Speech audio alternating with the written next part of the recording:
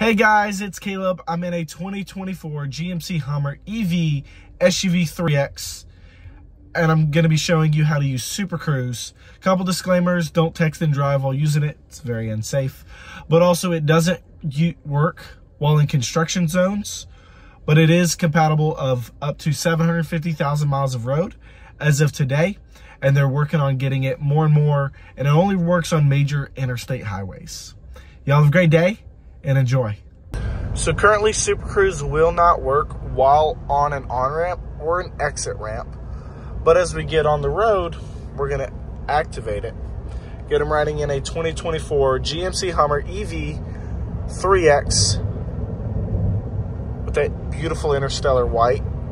But as we hop on the interstate here, I'll show you how to activate Super Cruise. So while you're in your lane, you're gonna go ahead and start by pressing your lane keep assist unless it's already activated. Then you're gonna press your cruise control button to turn it on right there. Set your cruise control down, pressing the down button. We're gonna set it for 70 miles an hour.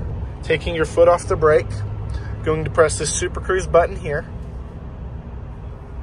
And this little guy's using LiDAR to check for my eyes, and this will tell me if I need to uh, put my hands on the steering wheel or not. Green is good though. So currently there's a vehicle next to us and we're slowing down. As it finds an opening, it will, it will turn over. So there it is, automatically taking the lane change, looking for that opening. And it did it. And if I want to do it by myself, I just tap it. It's looking for an opening again. There's my hand. Completely autonomous and feel free.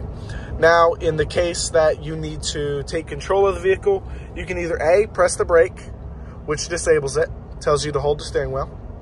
Now, let me set it again at my desired speed, 65 miles an hour. You can always turn off cruise control as well.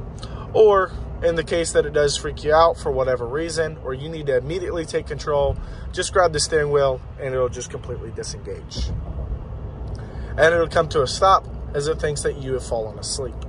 Now, if you do it twice in a single uh, run where it's turned on and you let it disable itself, uh, then you have to pull over and turn the vehicle off. But pretty cool, completely autonomous driving. Currently, as of today, February 27, 2024, we do have 750,000 miles of road across the United States.